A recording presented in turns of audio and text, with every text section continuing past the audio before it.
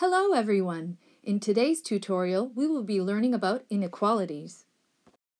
We will see what is an inequality, the different inequality signs, and how to read math sentences with inequalities. I'm sure you're wondering by now, what is an inequality?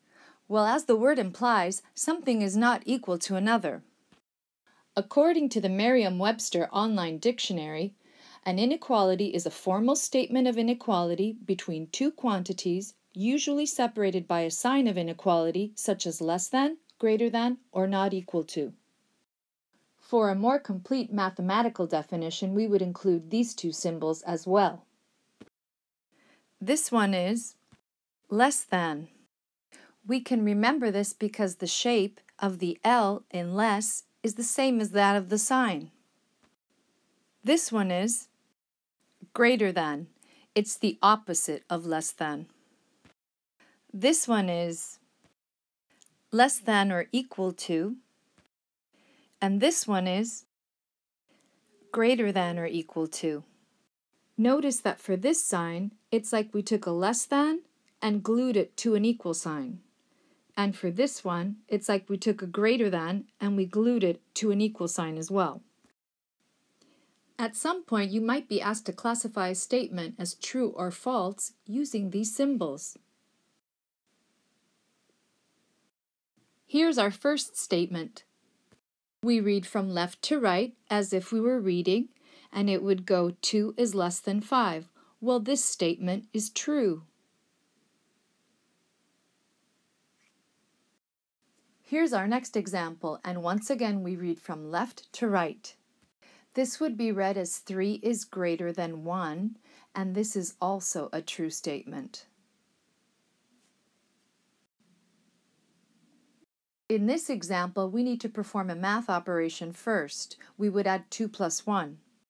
That gives us 3, and 3 is less than 4. So this is a true statement. This would be read as 3 is greater than or equal to 2. Well, 3 is greater than 2, but it is not equal to 2.